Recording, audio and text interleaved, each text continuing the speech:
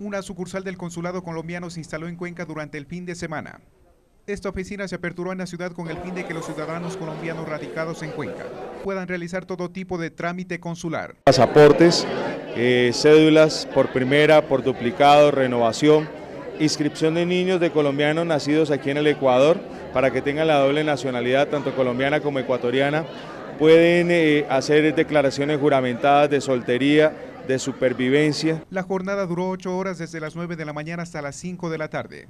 Ahí los ciudadanos colombianos aprovecharon para postillar sus documentos y así aplicar a una regularización en el territorio ecuatoriano.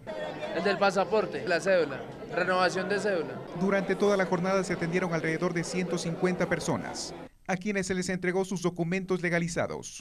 Estamos haciendo presencia, estamos trabajando para ello. Esto además les permitirá a los ciudadanos colombianos sufragar en el Ecuador en las próximas elecciones de su país, a realizarse en marzo del siguiente año. Yamil Bustán, El Informativo.